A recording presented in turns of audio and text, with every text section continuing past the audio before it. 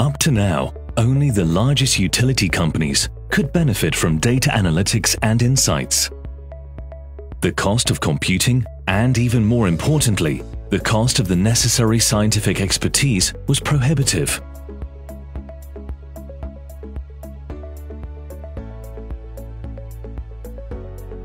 Now you can have insights at your fingertips. Even if you're a small hydroelectric operator, you can now easily take advantage of affordable, advanced data analytics for direct operational and business advantage. Hydroelectric companies can now use their own and third-party real-time data flows to continuously tune their operations. Check dams and receive alerts as early indicators of performance degradation.